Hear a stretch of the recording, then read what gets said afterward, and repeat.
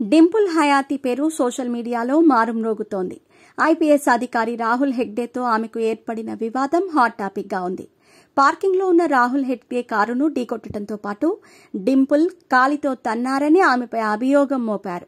దీనికి సంబంధించిన CCTV footage విడుదల చేయగా అందులో డింపుల్ కోపంగా కాలితో అక్కడున్న కోన్స్ని తనినట్లుగా ఉంది. డింపుల్ ఆమె మిత్రుడు డేవిడ్ విక్టర్ మీద పోలీసులు కేసు నమోదు చేశారు. రాహుల్ హెగ్డే ట్రాఫిక్ డీసీపీగా ఉన్నారు. తన అధికారాన్ని ఉపయోగించి నన్ను తప్పుడు కేసులో ఇరికించే ప్రయత్నం జరుగుతుందని డింపుల్ హయాతి ఆరోపిస్తున్నారు. త్వరలో నిజాలు బయటకు వస్తాయని ఆమె విశ్వాసం వ్యక్తం చేశారు. ఈ కేసులో కోర్టులో నడుస్తోంది.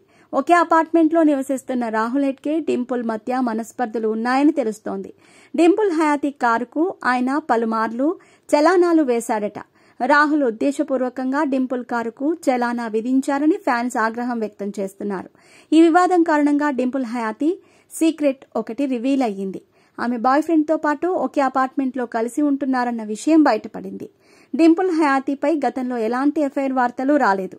డేవిడ్ విక్టర్ అనే వ్యక్తితో కలిసి జీవిస్తున్న సంగతి వెలుగులోకి వచ్చింది. చాలా కాలంగా వీరు లివ్ ఇన్ రిలేషన్షిప్లో ఉన్నారని సమాచారం అందుతోంది. ఈ మధ్య పెళ్ళికి ముందే సహజీవనం కామన్ అయిపోయింది.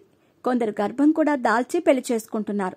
ఇలియానా ఇలానే తల్లయ్యారు. ఇలియానా తనను గర్భవతిని చేసిన వ్యక్తి ఎవరో కూడా చెప్పలేదు.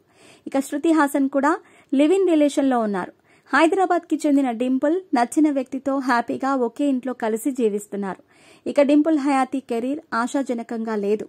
ఆమె నటించిన కిలాడి రామబాణం డిజాస్టర్స్ అయ్యాయి.